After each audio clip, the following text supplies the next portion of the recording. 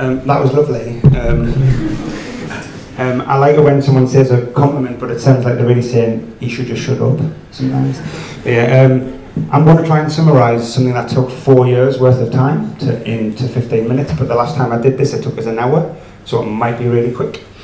Um, so I'm going to talk about um, what is now error message guidance in the gov.uk design system. Um, and I've tried to make this like a story, but it's it's a story about working in government, so it's it's a bit weird. So I started in HMRC in August 2014, and I was immediately put onto a service called um, submitting an employment intermediary report, which it was one of the unusual early days services because it didn't exist before. It wasn't like a paper service or like a super old-fashioned service. They'd just written this new law. I'm not going to go into it because the guidance on explaining the legislation is longer than the legislation. It's that complicated. Um, but essentially it boiled down to um, people who find other people jobs have to do these returns um, and they need to do at least one, one every quarter, so one every three months. Um, they've got to fill in this spreadsheet. Well, actually, it's, I shouldn't say spreadsheet, it's a CSV or open document spreadsheet. It's not an Excel file, obviously. Um, and there's so much data in it that um, the people found the service quite easy to use during the testing, but the, this upload thing was really confusing for them. Um, and depending on how many people they found jobs for, some people filled in a spreadsheet with five rows. Some people had 10,000 rows. Some people uploaded hundreds of files, some people uploaded one, so it was, it was quite complex. So we, they had to give it about 20, possibly 25 pieces of data about each person they found work for. Some of it was required, but more importantly, some of it was conditionally required. So this is the list. You had to have a forename and a surname, and but if you put a national insurance number in, you didn't need to tell us the date of birth or gender. But if you didn't have a national insurance number, you did need to give us them. And all of these kind of conditional things came out really quickly that hardly anybody could do this first time. All of this data is enshrined in, a, in an act of parliament. We have to ask for it by law. Um, the error message pattern that's in use now was still being developed, but it was mostly for filling in forms, like form fields. It wasn't really about telling people mistakes made in a spreadsheet that they've got over here. Um, I'm going to mention this pattern at least five times because, similar to something Henrik said, I cannot separate the content from the design in my head because if you have one without the other, you have, well, let's face it, either words that don't do anything or boxes on a screen. So in my head, content design is largely about the, how everything integrates together. So this is the pattern that we have now. This was what it looked like in July last year. As you can see, all the content doesn't actually say anything. It says things like message to alert the user here, optional description, error message goes here. So people were just writing really random error messages um, without really thinking about it. I have another presentation that I give called The Unhappy Content Designer because I seem to spend loads of time looking at what we do when a page breaks and um, a service crashes. Instead of thinking, my service is beautifully simple and straightforward and no one's ever going to get an error, everybody gets errors, it's just the way of life. So um, this has changed a couple of times, but the only real, in 2014, this was the only content guidance, which was ensure error, ensure error messages make sense when read by screen readers, and error copy should be specific to the question and validation should identify all errors. I have a 15 minute talk about why we shouldn't have used the word copy, but that's possibly for another time. This was replaced in 2016 with write a message that helps the user to understand why the error occurred and what to do about it, but it still meant that you got loads of really random errors. So I'll pair up with another content designer who worked on a very similar service about what um, the error message should be. And um, we sat across a desk from one another and just read things to each other to make them sound natural and like human, like what you would say to somebody if you were talking to them. Um, so I had a hypothesis that no one was going to read our guidance and no one was going to read the report template. And when I'm designing stuff, I always have this thought in my head, which is going to sound like an insult, but it isn't. It's, would my mum know how to do this? Um, my mum is a very decent computer user, but whenever she gets a, something from the government, she essentially thinks I wrote it and it's my fault. um, so in January 25th, so we did loads of writing and testing and uh, with users, and what we found was the pattern didn't work like we thought it wouldn't work because we were telling people about something that was wrong in an offline process.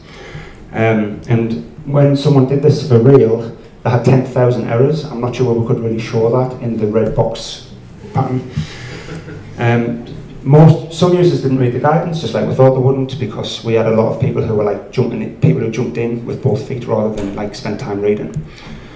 And because what we were asking for, the error message needed to be mega specific, because it was things like, because you haven't given us a national insurance number, you must give us your gender or and date of birth. So there's lots of very verbose error messages.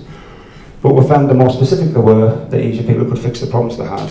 And um, one of the key things we found was because I had to fix them in an offline process, turning them into instructions never worked. Saying enter your enter such and such, everyone went looking for somewhere to enter it. They didn't realise they had to go and do it elsewhere. So, um, and the biggest thing we found was we didn't know how to pass the word out across government because it was quite hard to do that in 2015. So in early 2016, I got moved on to tax credits, which is an incredibly lengthy service which lets you do all manner of things.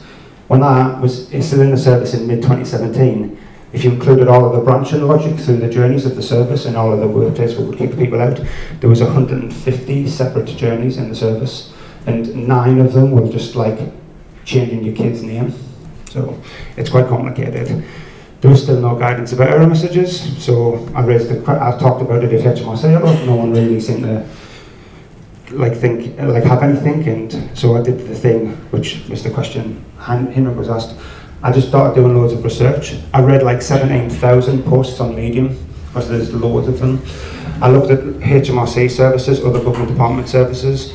I went on everything that I buy things from online and I am the person on a Friday night who goes on to services and leaves everything blank and clicks the button just to see what happens. Um, that's living the dream. Um, I looked at all the recommendations in blogs and style guides. I looked at the web content accessibility guides. I just went wild. I just looked for everything. But everything you found could be summarized in a few slides. Um, there was such ginormous variety of errors and recommendations. I like the word ginormous. Um, there was loads of inconsistencies within services and between services. It was quite marked how different they were. Um, there was government services not using the pattern. Uh, there was lots of general error messages that didn't really help anyone. It was things like an error has occurred and this field is required and really vague things. And a lot of private services used error messages as an extension of the tone of voice, which is a bit weird. Um, I have got so many examples of this because every time I do one of these, I start getting Slack messages of people and Twitter messages saying, look at this. So here's a few. So this is a, a, field for your last name, and the entry is please enter a valid last name because someone's put in spaces. Like I have a person who sits behind me who did a talk today as part of Service Week, Mark O'Connor, gets this all the time because he's got an apostrophe in his name.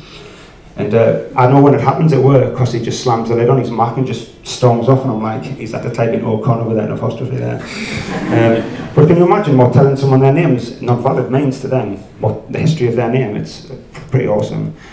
This is a hard to find but totally real Windows 2000 Service Pack 1 error. Your password must be at least 18,707 characters and cannot repeat any of your previous 30,689 passwords. Please type a different password. Type a password that meets these requirements in both boxes. I'm betting they're disabled copy and paste as well. Um, come on, you know this isn't a valid email. Um, you, I, I can't remember what the service is from. It's from a Medium post quote is that where you want to really tell jokes? Like, you don't know how what this person's feeling when they're filling this in. Uh, my friend Craig, who works at DWP, was buying someone a present on kidly.co.uk, I think. And he's like me, he leaves fields empty just for laughs. So on one page it goes from, please enter a recipient name, oops, you forgot to pop in your number, exclamation mark, don't be shy, to, though, we need to know where we're going. I mean, the inconsistency on one screen is pretty massive there, so but again, you don't know what these people are feeling. But my personal fave, this is the Services Week hashtag from this morning. Uh, signing into Twitter, I've left a blank blanker I've typed in my name, and then you get taken to a brand new page with a modal box on the top that you can't access if you're using a screen reader or a keyboard. So there's no way you'll ever hear that if you're if you're using a screen reader and you can't see the screen. So that's pretty cool. Um, and this is a one from civil service jobs. If you put a space in your password, you get there has been an error space.